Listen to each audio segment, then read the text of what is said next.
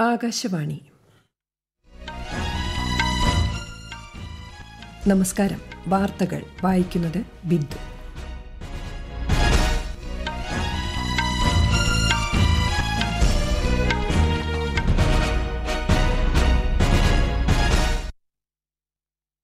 പ്രധാന വാർത്തകൾ. പാർലമെന്റ് സുരക്ഷാ വീഴ്ചയിൽ ഇരുസഭകളിലും പ്രതിപക്ഷ പ്രതിഷേധം. ലോക്സഭയിലും രാജ്യസഭയിലും നടപടികൾ രണ്ടു മണിവരെ നിർത്തിവച്ചു. സുരക്ഷാ വീഴ്ചയിൽ എട്ട് ജീവനക്കാർക്ക് സസ്പെൻഷൻ. പാർലമെന്റിലെ മോശം പെരുമാറ്റത്തിന് തൃണമൂൽ എം പി ഡെറേക് ഒബ്രിയാന് സസ്പെൻഷൻ. പാർലമെന്റ് സുരക്ഷാ വീഴ്ചയിൽ യു എ പി എ നിയമപ്രകാരം കേസെടുത്ത് ഡൽഹി പോലീസ്. ഉന്നതതല അന്വേഷണത്തിന് നിർദ്ദേശം നൽകി ആഭ്യന്തര മന്ത്രാലയം. കേന്ദ്ര സർക്കാരിന്റെ വികസന ക്ഷേമ പദ്ധതികൾ ജനങ്ങളിലെത്തിക്കുന്ന വികസിത് ഭാരത് സങ്കല്പ് യാത്രയ്ക്ക് കേരളത്തിൽ മികച്ച പ്രതികരണം. ഇന്ന് ദേശീയ ഊർജ സംരക്ഷണ ദിനം. ഊർജ സംരക്ഷണ പുരസ്കാരങ്ങൾ രാഷ്ട്രപതി ദ്രൌപതി മുർമു ന്യൂഡൽഹിയിൽ വിതരണം ചെയ്യും. ഇന്ത്യ ദക്ഷിണാഫ്രിക്ക മൂന്നാം ട്വന്റി ട്വന്റി ക്രിക്കറ്റ് മത്സരം ഇന്ന്. വാർത്തകൾ വിശദമായി.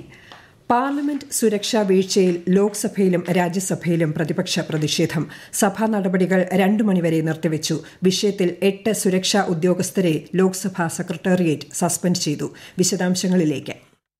ലോക്സഭയിൽ രാവിലെ സഭാ നടപടികൾ ആരംഭിച്ചപ്പോൾ തന്നെ Congress D M K Trinamool ഉൾപ്പെടെയുള്ള പ്രതിപക്ഷ പാർട്ടി അംഗങ്ങൾ മുദ്രാവാക്യം ഉയർത്തി പ്രതിഷേധം ആരംഭിച്ചു. വിഷയത്തിൽ പ്രധാനമന്ത്രി പാർലമെന്റിൽ പ്രസ്താവന നടത്തണം എന്നതാണ് പ്രതിപക്ഷ ആവശ്യം. പാർലമെന്റിന്റെ സുരക്ഷ എല്ലാവരും ഒരുപോലെ ഗൌരവമായാണ് കാണുന്നതെന്ന് സ്പീക്കർ ഓം ബിർല പറഞ്ഞു. വിഷയത്തിൽ ഇന്നലെ നേതൃയോഗം നടന്നതായും ഇന്നും യോഗം ചേരുമെന്നും സ്പീക്കർ പറഞ്ഞു. പാർലമെന്റിന്റെ സുരക്ഷ ലോക്സഭാ സെക്രട്ടേറിയറ്റിന്റെ ചുമതലയാണെന്നും അതിൽ കേന്ദ്ര സർക്കാർ ഇടപെടേണ്ടതായി ഇല്ലെന്നും ശ്രീ ഓം ബിർല വ്യക്തമാക്കി. വിഷയത്തിൽ അന്വേഷണത്തിന് നിർദ്ദേശം നൽകിയതായി രാജ്യരക്ഷാ മന്ത്രി രാജ്നാഥ് സിംഗ് പറഞ്ഞു. രാജ്യസഭയിലും സമാന സംഭവങ്ങളാണ് ഉണ്ടായത്. വിഷയത്തിൽ കേന്ദ്ര ആഭ്യന്തരമന്ത്രി അമിത്ഷാ പ്രസ്താവന നടത്തണമെന്ന് പ്രതിപക്ഷം ആവശ്യപ്പെട്ടു. സുരക്ഷാ വീഴ്ചയിൽ ഉന്നതതല അന്വേഷണം പ്രഖ്യാപിച്ചതായി രാജ്യസഭാ ചെയർമാൻ ജഗ്ദീപ് ധൻകർ അറിയിച്ചു. പ്രതിപക്ഷത്തോട് സീറ്റുകളിലേക്ക് മടങ്ങണമെന്ന് ആവശ്യപ്പെട്ടെങ്കിലും അംഗങ്ങൾ വഴങ്ങാത്ത സാഹചര്യത്തിലാണ് നടപടികൾ നിർത്തിവച്ചത്. ന്യൂസ് ഡെസ്ക് ആകാശവാണി പാർലമെന്റിലെ മോശം പെരുമാറ്റത്തിന് തൃണമൂൽ എം പി ഡെറേക് ഒബ്രിയാന് സസ്പെൻഷൻ. രാജ്യസഭാ അധ്യക്ഷൻ ജഗ്ദീപ് ധൻകറാണ് തീരുമാനം അറിയിച്ചത്. ശീതകാല സമ്മേളനത്തിന്റെ വരും ദിവസങ്ങളിൽ ഉടനീളം സസ്പെൻഷൻ ബാധകമായിരിക്കും. പാർലമെന്റ് സുരക്ഷാ വീഴ്ചയിൽ യു എ പി എ നിയമപ്രകാരം കേസെടുത്ത് ഡൽഹി പോലീസ്. വിഷയത്തിൽ ഉന്നതതല അന്വേഷണത്തിന് കേന്ദ്ര ആഭ്യന്തര മന്ത്രാലയം ഉന്നതതല സമിതി രൂപീകരിച്ചിരുന്നു.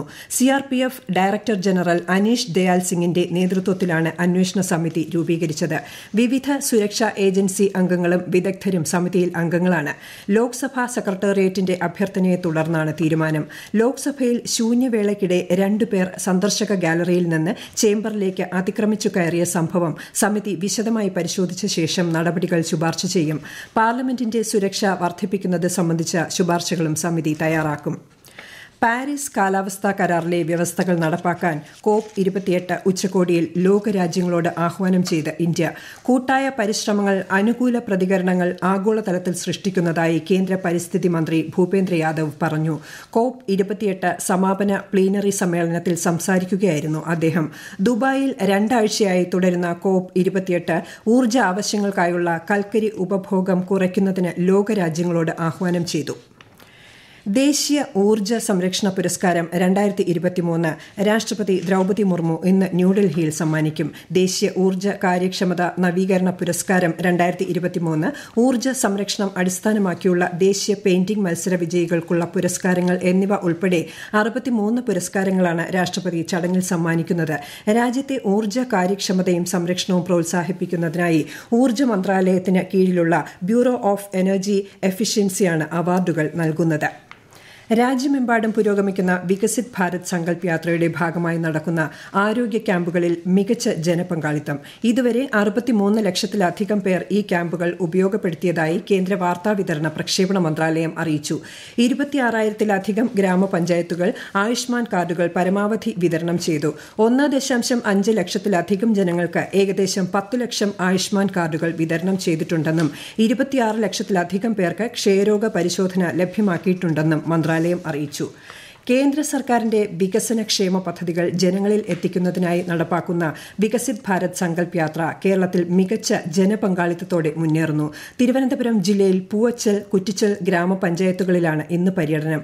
കൊല്ലത്ത് ഇന്ന് വെട്ടിക്കവലയിലും ഉച്ചയ്ക്ക് ശേഷം ഉമ്മന്നൂർ ഗ്രാമപഞ്ചായത്തുകളിലും വികസിത് ഭാരത് സങ്കൽപ് യാത്ര എത്തും. ആലപ്പുഴ ജില്ലയിലെ പുലിയൂർ പഞ്ചായത്തിലും ബുധനൂർ പഞ്ചായത്തിലുമാണ് ഇന്ന് പര്യടനം. പത്തനംതിട്ട ഇരവിംപേരൂരിലും കുറ്റൂർ ഗ്രാമപഞ്ചായത്തുകളിലുമാണ് ഇന്ന് യാത്ര എത്തുന്നത്. ഇടുക്കി ജില്ലയിൽ ഇന്ന് മരിയാപുരം വാത്തിക്കുടി പഞ്ചായത്തുകളിലും കോട്ടയത്തെ മുണ്ടക്കയം കുട്ടിക്കൽ ഗ്രാമപഞ്ചായത്തുകളിലും വികസിത് ഭാരത് സങ്കൽപ് യാത്രയുടെ പര്യടനം നടക്കും. തൃശൂർ ജില്ലയിൽ വേലൂർ പഞ്ചായത്തിലും കടപ്പുറം ഗ്രാമപരിസരത്തും പാലക്കാട് വടവന്നൂർ കണ്ണാടി പഞ്ചായത്തുകളിലും കണ്ണൂരിൽ കുറ്റ്യാട്ടൂർ മയ്യിൽ പഞ്ചായത്തുകളിലുമാണ് ഇന്നത്തെ പര്യടനം. മലപ്പുറം കൊണ്ടോട്ടി ബ്ലോക്കിലെ വാഴക്കാട് വാഴയൂർ പഞ്ചായത്തുകളിലാണ് വികസിത് ഭാരത് സങ്കൽപ് യാത്ര ഇന്ന് എത്തുന്നത്. ഈ വാർത്തകൾ ആകാശവാണിയിൽ നിന്ന്. ആകാശവാണി വാർത്തകളും വാർത്താധിഷ്ഠിത പരിപാടികളും all India radio news Thiruvananthapuram എന്ന യൂട്യൂബ് ചാനലിൽ ലഭ്യമാണ്. കൂടുതൽ വാർത്തകൾക്കായി at all India radio news Thiruvananthapuram എന്ന ഫേസ്ബുക്ക് പേജും at A R news underscore T V M എന്ന എക്സ് ഹാൻഡിലും സന്ദർശിക്കാം.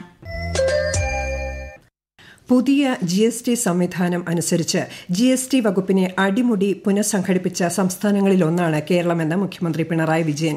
ഇതിന്റെ ഫലമായി രണ്ടായിരത്തി ഇരുപത് ഇരുപത്തിയൊന്ന് മുതലുള്ള സാമ്പത്തിക വർഷങ്ങളിൽ സംസ്ഥാനത്തിന്റെ തനത് വരുമാനത്തിൽ കാര്യമായ വളർച്ചയുണ്ടായി. എന്നാൽ ജി നഷ്ടപരിഹാരം നൽകുന്നതിൽ കേന്ദ്രം വരുത്തിയ വീഴ്ച റവന്യൂ കമ്മി ഗ്രാന്റിൽ കേന്ദ്രം വരുത്തിയ കുറവ് തുടങ്ങിയ ഘടകങ്ങൾ സംസ്ഥാനത്തെ സാമ്പത്തികമായി ബാധിച്ചെന്ന് മുഖ്യമന്ത്രി പറഞ്ഞു.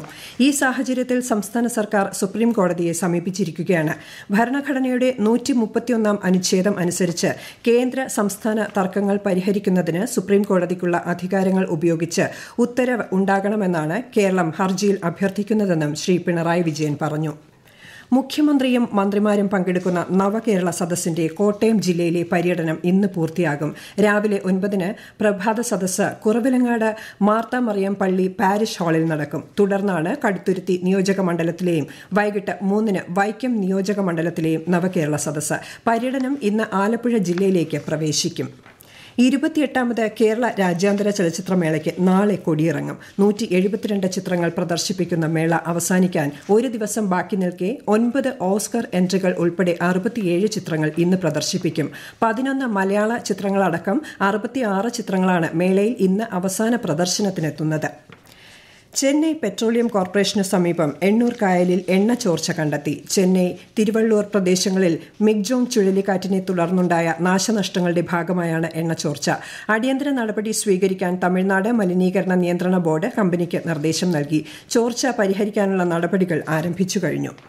സിക്കിമിൽ കനത്ത മഞ്ഞുവീഴ്ചയിലും പ്രതികൂല കാലാവസ്ഥയിലും കുടുങ്ങിയ എണ്ണൂറിലധികം വിനോദസഞ്ചാരികളെ സൈന്യം രക്ഷപ്പെടുത്തി.